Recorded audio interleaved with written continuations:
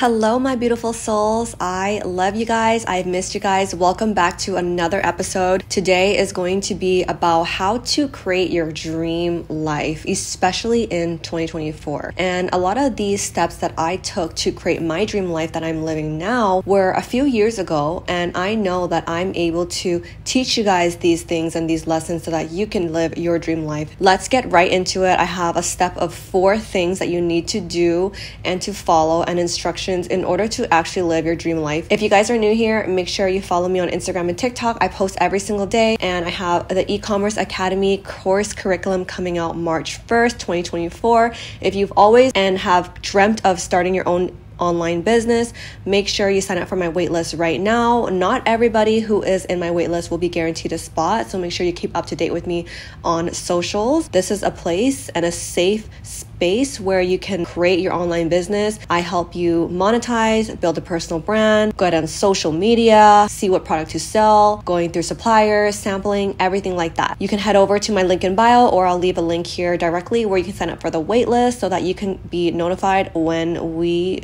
release and open for enrollment. If you guys are enjoying this podcast, please make sure you share it to a friend. I don't make any money doing these podcasts or episodes or recording. I genuinely just share from the heart and want to be vulnerable and intimate with you guys so that I can get you to know each and every one of you on a more intimate level and you can also know more about me and my story. And I'm really trying to find a community and people around us who are like-minded young female entrepreneurs or who are just trying to get that bag, you know? We don't want to depend on other people. It's 2024 it's really time to boss up. And if you haven't already bossed up, this is your year to do it. Let's get right into how to create your dream life. These are all the steps that I took in the past few years that have really gotten me to live the best version of myself, eat, sleep, breathe. And every single day I wake up and I feel so happy and grateful and just ecstatic to be in this life that I have chosen and created for myself. Yes, God will born you into different circumstances that you are not able to choose, like your family, your blood, your ethnicity. But how you choose to play with those cards every single day and create your reality from there is up to you and it is a choice. Every single part of your life and every everything in your life right now is a reflection of a decision or a past mistake you've made three months ago, two, three years ago. And I say that with so much passion because a lot of people these days will complain about how they're so stuck in a certain way, or they hate the government, or they hate where they came from, they hate their family, they hate their environment, they hate their friends, they hate their job. And it's like you guys are able to change all of these things. These are choices. Every single day you wake up, you have a choice to make and choose what you want to do and who you want to be. And if you are not happy with where you are right now and who you are just as a person, overall with all of the things that you have your bank account, your bed, your place, your home, where you're living, where you're going to school, where you're studying, your financial situation. This is a reflection and a choice that you have made. So know that you can change these things. And especially with these four steps that I'm going to teach you guys all today, you are going to implement this today if you are not where you want to be. So the first one is I demanded more in myself. This was a first step is bringing self-awareness to understand that okay, I know this is not the place that I want to be. I know that I want to get to somewhere else, and these are the steps that I need to take. So you need to demand more yourself. You need to be self aware that this situation, you do not love it. You're just comfortable and you're just complaining. This is not a place you want to be in. You want to be woken up, happy, grateful, excited to just live your day because you're so happy that every single part of your day is something that is a reflection of your emotions and you're just happy. It brings you peace, it brings you money, it brings you passive income, it brings you a life where you feel fulfilled and freedom and resourceful. So the first step is demand more in yourself and stick to an actual schedule that you're going to make to do this. So for me, that meant with putting tasks and responsibilities in my calendar and in my habit blocks that I knew I was actually going to do. Because if you start saying to yourself, okay, I'm gonna go to the gym 20 times this month, and you go once or twice, it's gonna make you feel shitty. Because if you can't even respect yourself enough to follow up with your own words and your own discipline of your own schedule, who's going to respect you? Like the first place, it starts with respecting yourself, which means respecting the things that you're going to say that you're going to do to yourself. And it's so easy for us to just let ourselves go and be like, yeah, it's fine. I have tomorrow. I have all the time in the world. Like, no, girl, we do not have all the time in the girl in the world, okay? Like you're going to see people who are 30, 40s regretting their damn life and saying they should have started something when they were 20, 30, and it's like every single day counts. Weekends count. So if you're a person who's doing nothing on the weekends and you're just excited for the weekend, you need to be in this place to actually uplevel your life, okay? Cuz weekends we work and we have to sacrifice our life even weekends so that we can get to where we are. Demand more yourself and actually put tasks and responsibilities in your calendar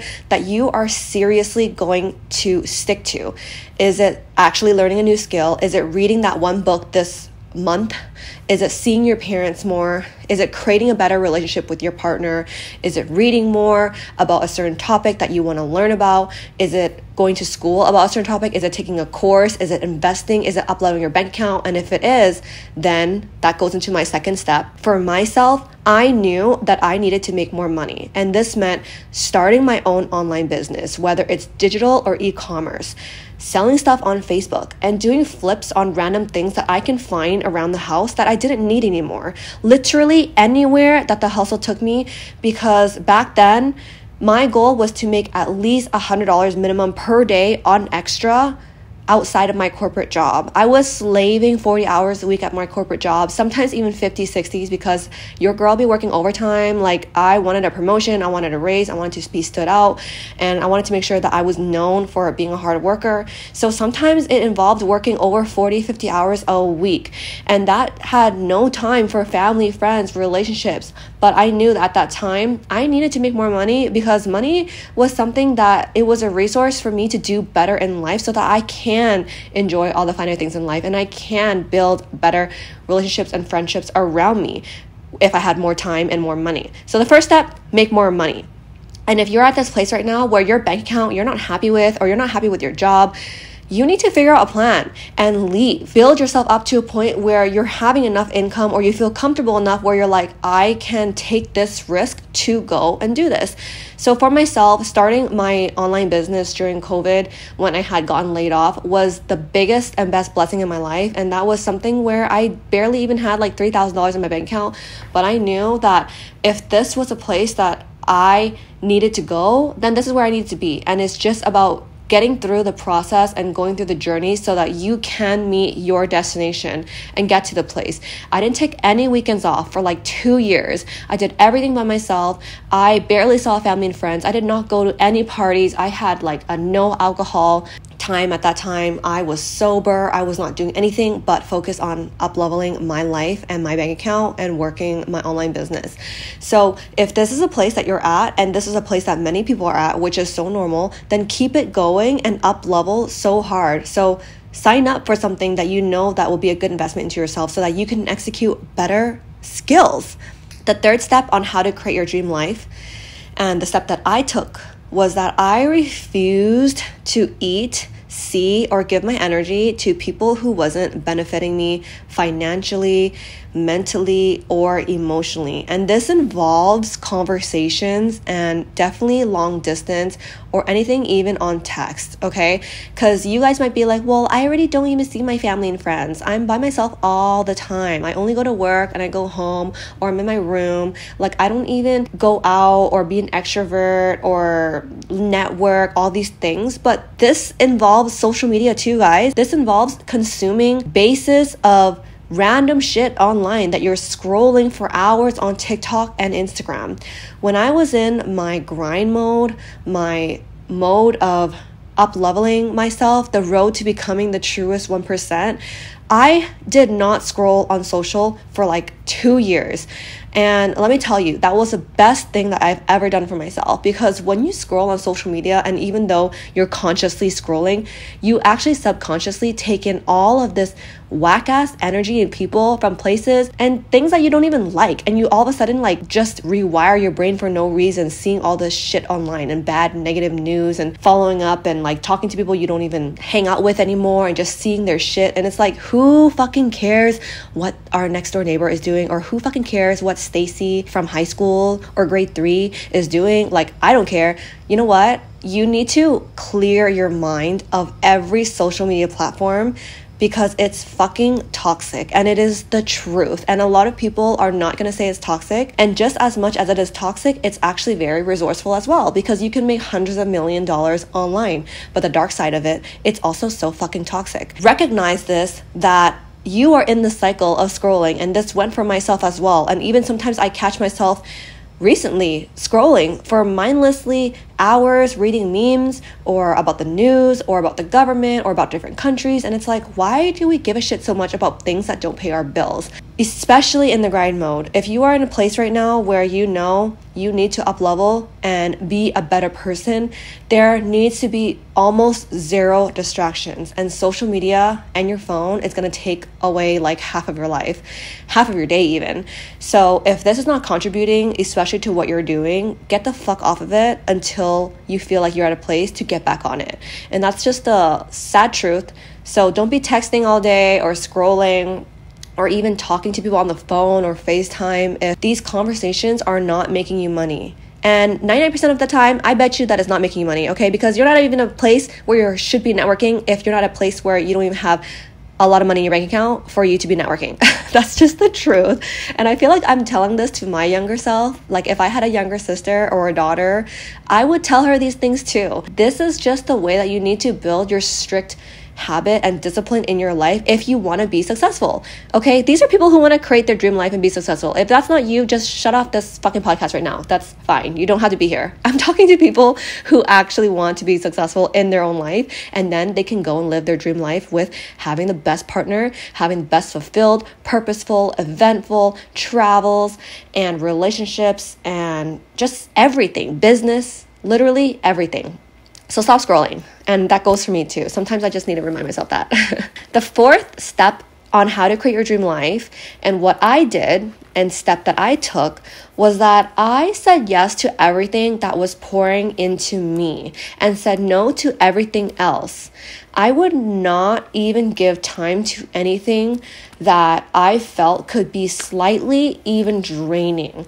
I wouldn't go out to anywhere. I wouldn't do anything. And sometimes you just need to tell your best friends or your partner at that time, your family or your parents, your siblings, like, hey, I'm at a place in my life where I am extremely unhappy with myself and I need the next three months to eight months to really focus on this part of my life. And if you respect me, you won't invite me out. You won't make me feel FOMO. You won't send me pictures of you doing your living your life. Like, I don't want to see this shit. And then, if they respect you and they love you, which of course they do, they're going to encourage you. And if they don't, then you don't need them in your life, anyways. So, say yes to everything when it comes to actually controlling your habits in your life and say no to everything else. If you can mentally prepare yourself for the things that are going to come, this is the best time to do it because your mind is like a soldier. Every human body and mind is so honestly powerful, and society has made us look so fucking weak. Men and women are so smart, so powerful. Humans are so amazing, and we've done such amazing things. All of this time has created is all from humans, all of these amazing inventions and what the body and the mind goes through. So just remember how fucking powerful you are. And you were literally born into a human, not an animal. So the fact that you're even listening to this, you should be so fucking happy that you were not a butterfly or something or like a caterpillar, you know? Like you just don't know what you don't know. You need to remember these things. It's so easy for us every single day to literally go on with our days, feel ungrateful, feel unappreciative of the things that happen to us. Like, oh my God, this person cut me off. Oh my God, my boss was a bitch. My sister is mean. My coworker is an asshole, spreading rumors about me, backstabbing me, or my cousin's this, my family's this. Like, yes, of course, shit happens all the time, but blessings are about to come your way, and sometimes the universe will literally hand you devils and demons in human form in people the closest to you so that they can test you before you're ready for that blessing. And sometimes you just need to take a step back. You just need to fucking fall back and remember who you are. Remember how lucky you are to even be born into this earth as a human to do amazing things, to have equal opportunity. And don't even get me started about being born in North America, because if you were born in Canada or United States, you are already so fucking lucky above all else, for people who are born in Asia or the countries where they have so much poverty, remember the blessings that you have. And sometimes I know okay, it gets really, really hard because sometimes, you know, stupid shit just comes up and just takes over our day. But that's what having mental strength is. And if you are creating your dream life and you are going through this process right now and you're going to take my advice after this podcast, you need to understand it takes grit and resilience and self development and improvement and just understanding that life is here to test you but you are not going to be tested. Every single time you're going to win a battle and you're going to dodge all of the bullets and toxicity and the bad things that are testing you in your life. All right, I love you guys so much. I know this podcast helped you, please rate this podcast five out of five because that allows me to really see that I should continue taking the time out of my weeks to sit down and record. I literally do not get any money or anything from these podcasts. I do this for you because I truly hope that it can help at least even one person or even my younger self. If there is a younger self out there living her life right now and she just comes across my podcast and it helps her somehow to actually take the steps to live her dream life, that would mean the world to me. And you guys rating this podcast, giving me feedback, giving me comments, messaging me, DMing me, and always talking to me shows me that I'm allowed to still keep going. I'm able to still keep recording. I'm able to really sit down and continuously share these thoughts and moments with you. So please, please, please share this to a friend if you found value in it. I love you guys so much. Please don't forget to follow me on all of my socials, Instagram and TikTok. I post on there every single day. I'll talk to you guys on there as well. And don't forget to sign up for my e commerce program that is happening on March 1st, 2024. We are opening up enrollment. If you've always wanted to start an online business, this is the time and the place to do it is with me. I will personally help you launch, scale, and with social media, finding everything like that online. The waitlist is now open, so make sure you sign up so you don't miss it. I love you guys. I'll see you guys on the next episode next week. Bye.